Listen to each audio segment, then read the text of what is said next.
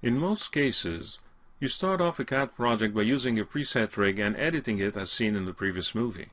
In some cases, however, you may find it easier to build a CAT rig from scratch when your character or creature is somewhat out of the ordinary. In this case, you have a quadruped creature that looks like a cross between a dog, a wolf, maybe a bit of hyena. The creature on the left is already rigged and animated with a walk cycle. You will create a manual rig to the creature on the right to learn about the process of creating new original rigs. Select the animated beast and hide it. Select the creature you will work on and press Alt-X to enable X-ray mode on the mesh. Next, freeze the mesh so it doesn't impede your work as you build the skeleton. To create a rig, go to the Helpers panel and select the Cat Objects list. Click the Cat Parent button, make sure the CAT Rig preset reads None, and click and drag under the Beast mesh. This creates a node for a rig, but no bone elements yet. Rename the CAT Rig MyBeast underscore. This will be the prefix for all the limb names you are about to create. Center the node to 000. This is where the mesh is positioned. With the node selected, go to the Modify panel. The first thing you need to create is a pelvis. This acts like a center of mass for any creature. Click the Create Pelvis button. On some systems, you may experience some refresh problems.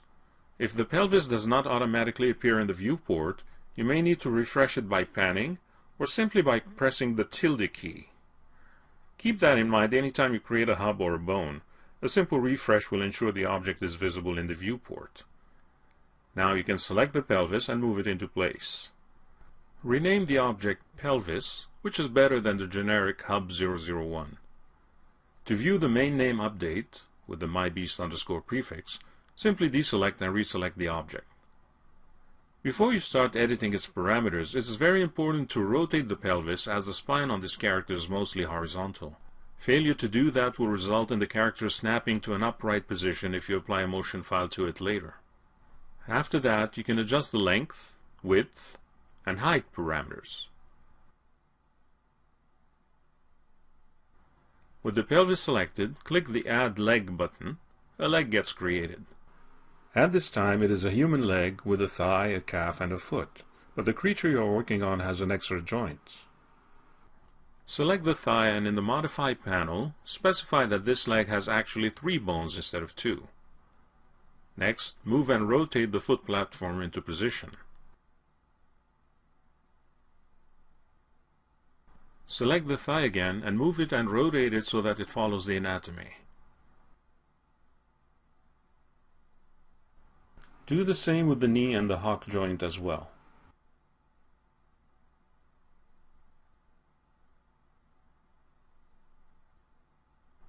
Adjust the foot angle as it seems a little high.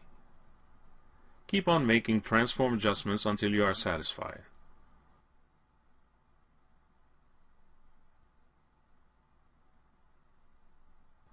Select the bones one at a time, from top to bottom, and adjust parameters such as width and depth. This will help with the skinning later.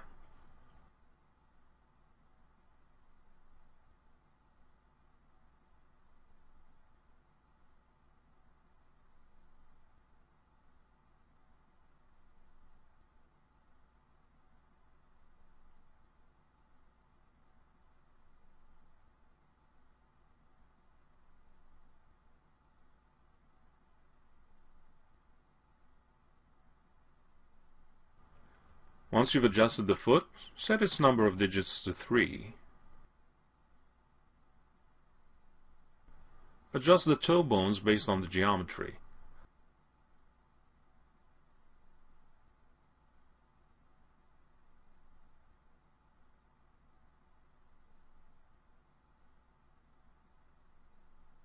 This takes care of the first leg.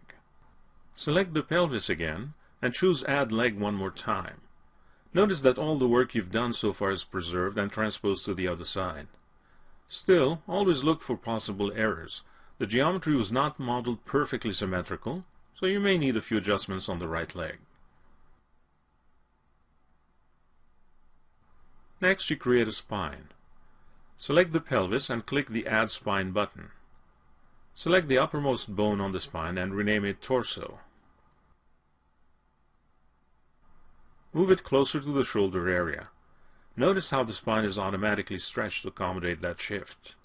Rotate the torso bone so that it follows the natural contours of the character. Adjust its parameters to help with the skinning later. Similarly, select the individual spine bones and adjust their parameters.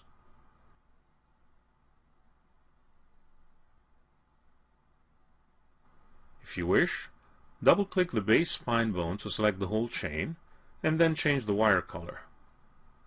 At this time, you create the front legs much the same way you did the rear legs, by selecting the torso hub and choosing Add Leg. In addition to specifying a three-bone leg as you did earlier, you may want to enable the collarbone option.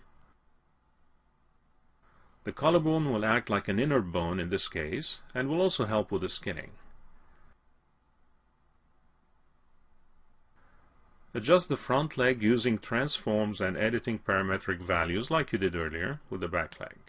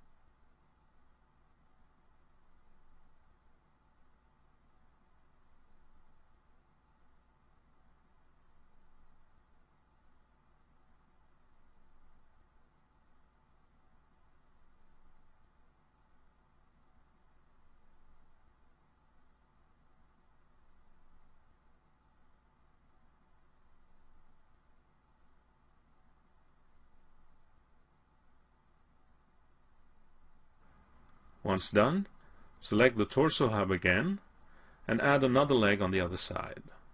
That still leaves you with a neck and a head to add. With the torso hub selected, add another spine. This is essentially what a neck is. Select the top bone and rename it head. Select any neck bone and rename it neck to differentiate this spine from the back spine. Adjust the head position and the position of the neck bones based on the existing geometry.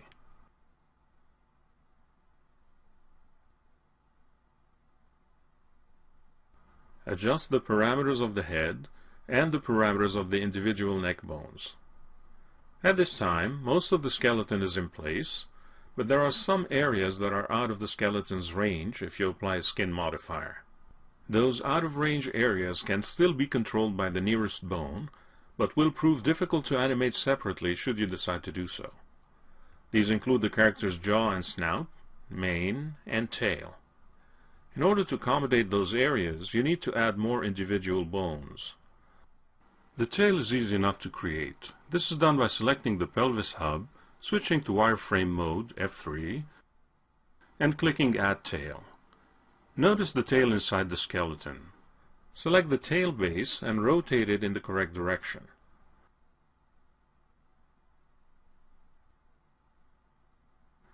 Set the number of links, in this case 3 should be enough. Adjust the position, orientation, and parameters of the individual bones.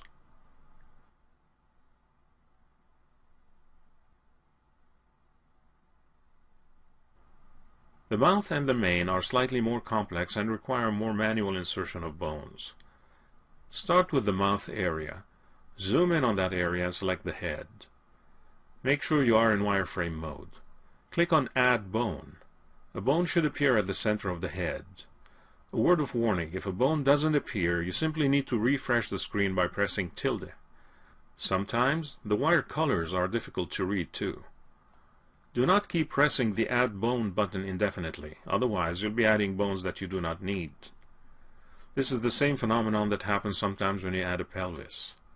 Select the newly created bone and move it outside the head, near the lower jaw. You can even rename it as such if you wish. Go back to shaded mode, F3, and adjust the bone to fit the character. Repeat this procedure to create an upper jaw.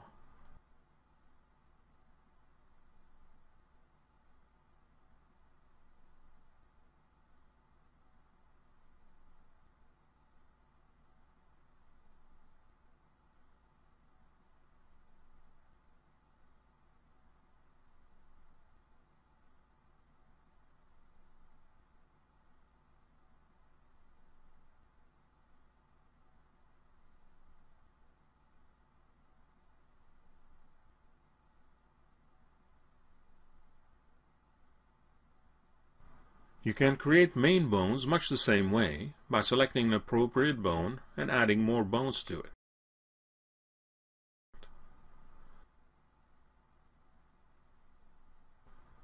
Even the underbelly area could use a few more bones to help with the skinning process.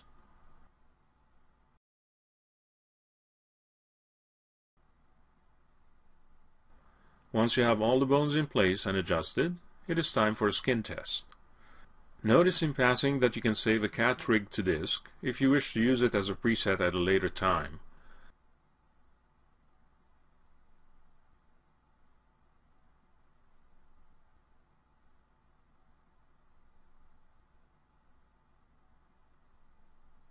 You'll then be able to recreate it with a simple click and adjust its size using the cat units ratio.